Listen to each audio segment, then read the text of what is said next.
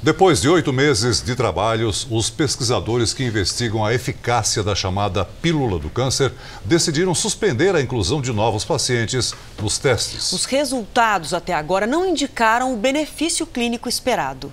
A chamada pílula do câncer foi testada em pacientes com 10 tipos de tumores: cabeça e pescoço, pulmão, mama, intestino, colo do útero, próstata, melanoma pâncreas, estômago e fígado.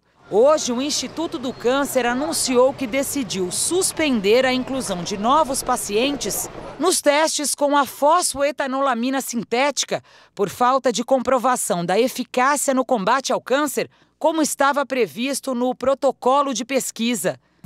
Isto é motivado até por conclusões éticas. Você não tem subsídios para incluir novos pacientes em cima dos resultados obtidos até hoje. Segundo os responsáveis pelo estudo, das 72 pessoas que foram tratadas com a substância, 59 já foram reavaliadas e apenas um paciente do grupo de melanoma apresentou melhora. Uma resposta em 59 avaliações pode acontecer por diversas razões. Todos gostaríamos que fosse por efeito benéfico do produto e vamos estudar isso com cuidado, mas ressalte-se que é um número pequeno. Durante os testes, os pacientes passaram por avaliações periódicas e foram submetidos a tomografias para que os pesquisadores pudessem acompanhar de perto a evolução dos tumores.